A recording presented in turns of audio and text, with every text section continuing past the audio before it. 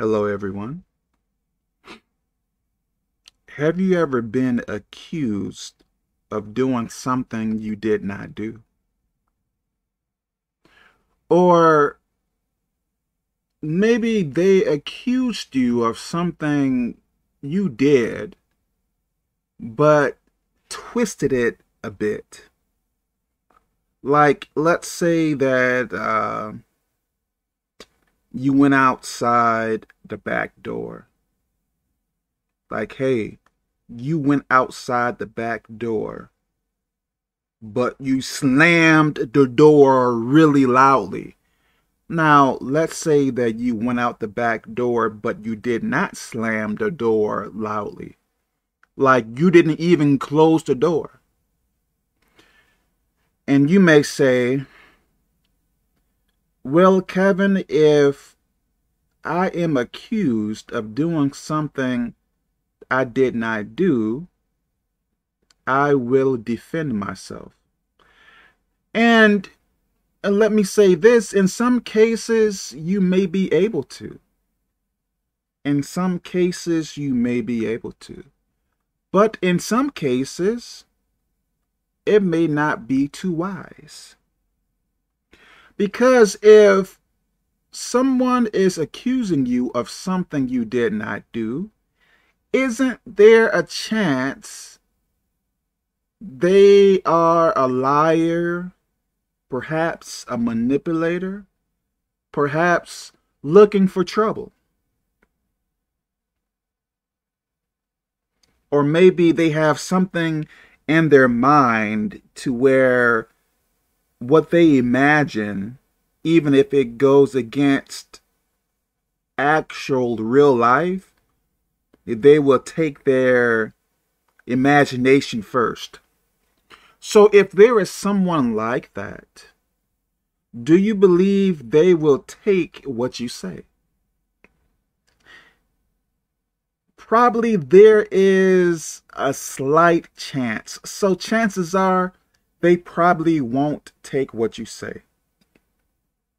If they don't take what you say, isn't there a possible chance that they will argue and probably escalate that argument so badly to where worse things happen? Have you haven't you been in situations as this? If so, what do you believe is the best thing to do if someone accuses you falsely and they are this way? Probably the best thing to do is to not engage. Don't even defend yourself. If someone says that, hey, I saw you flying around in the sky and you was wearing a purple shirt, don't even engage it. If someone said, hey, I saw you robbing the bank and blah, blah, blah, don't even engage it. Even if they go behind your back, telling people this, telling people that, it may be very hurtful, but I am a firm believer that even if people talk about you, the truth comes out. So if someone goes behind your back and do so much lying, then let's say after months, after a year, after whatever amount of time, let's say they find out that person was lying. So now that person will be known as a liar. I hope this is making sense you don't always have to defend yourself.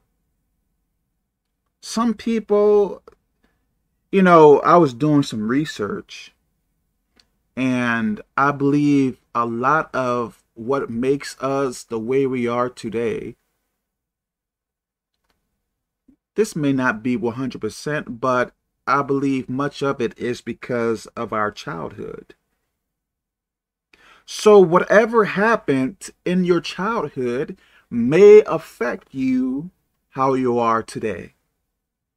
So if someone wants to fuss and make arguments and accuse you of things falsely, and if you try to defend yourself, it makes things worse, what can you say? Hey, that person has some type of issue. And I guess with some issues, I don't think it can be gotten over within a short time period. I guess it can, but perhaps it is going to take time. Like, for instance, um, I believe it was in the book of Matthew. I think it was speaking about um, a lunatic, a person that was cutting himself and doing other stuff in a particular, I don't know if it was in the graves, but he was acting abnormally. Now, a person can say, hey, that person has a mind problem. But what was going on it wasn't just a mind problem to where, you know, I guess in these times, someone would probably prescribe medication for that person. No. That person had a legion of demons in them. So, what could pills do for someone that has so many demons in them?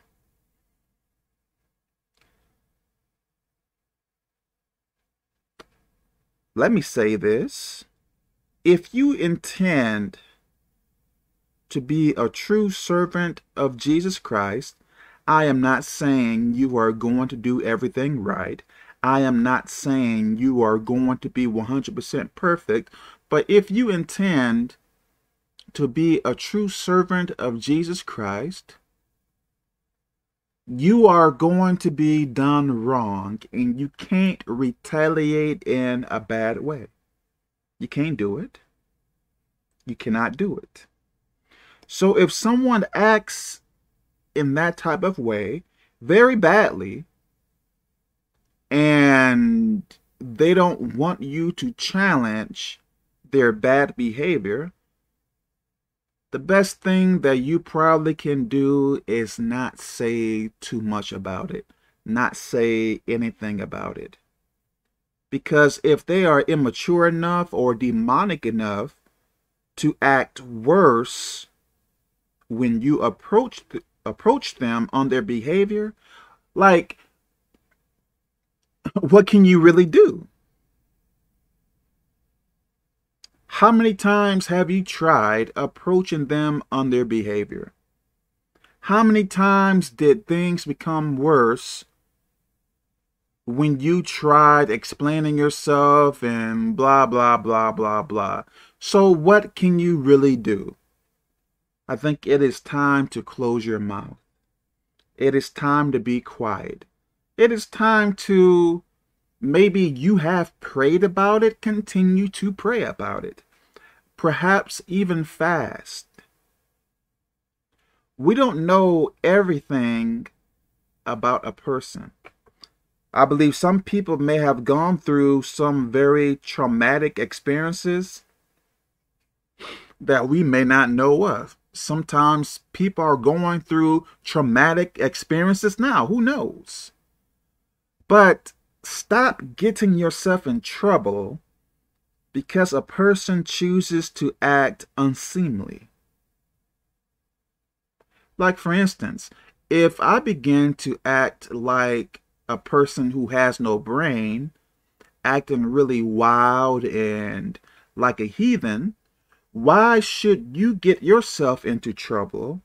Because I provoked you because I called you names and spoke poorly about your mama and all that street mess like that. Street mess. That's street mess, man. Why get yourself in trouble because of me? You should not. You need to learn to close your mouth and keep on moving forward. That is what we have to do. You may not feel good about it. You may not feel like you can appreciate, how can I say this? You may feel um, your feelings are not being appreciated or to where you can't express yourself or whatever. I understand that, but everything can't be about you. Sometimes you have to suffer for another person's sake. In this world, it is not only about ourselves, but it is about other people. We can't live for only ourselves. So sometimes we may have to go through bad things just because a person chose, is choosing, or going down the wrong path, if I am saying that correctly. So let me stop here. May God bless us.